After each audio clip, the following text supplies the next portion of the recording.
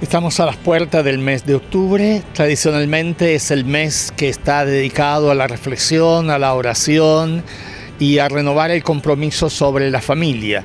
Así que una invitación a todas las comunidades cristianas, a las familias, a los jóvenes, a reflexionar sobre el sentido de la familia, el don que es la familia, el don que es la familia para la familia misma, pero también para el país. Así que ojalá que este mes de la familia nos ayude a todos a reencantarnos y a trabajar por el bien de todas las familias.